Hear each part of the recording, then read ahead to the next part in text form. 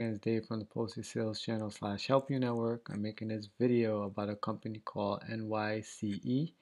Uh, the company is claiming to be the Robin Hood of real estate, where it allows you with the minimum price of $100 to buy real estate. Uh, here's a short video from WeFunder.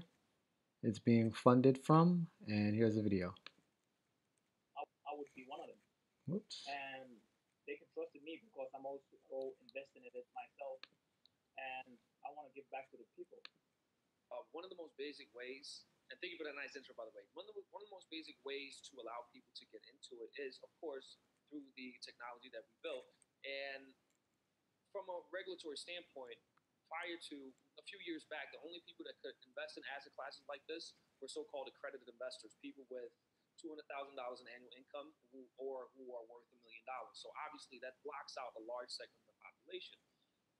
There's been with Reg CF and Reg A, it allows so-called non-accredited investors to get in, but it's relatively new and in a nascent stage. With what we're doing, we launched it last year, and we actually set the record for a real estate company to issue shares via the Reg CF, hitting a million dollars, and we hope to go to go a lot higher than that this year and thus helping more people come into uh, owning real estate. So uh, I hope that answers your question.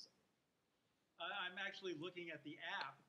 So, a short summary of what he's saying there is allowing people to get into real estate at a little over $100. Here's a look at the website.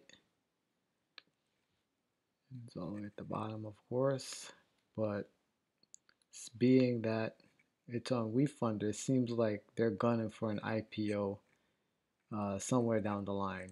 And if you get equity in a company like this, uh, you can make a lot of money if it goes public.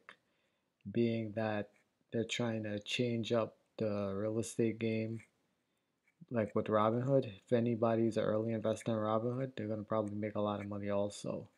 So here's your chance. You can go on WeFunder. I'll leave the link below. It seems like they almost sold out. Should have done this last night. Um, hopefully, anybody watching the video could get this and hopefully get wealthy. So please like, subscribe, and share. And thanks for watching.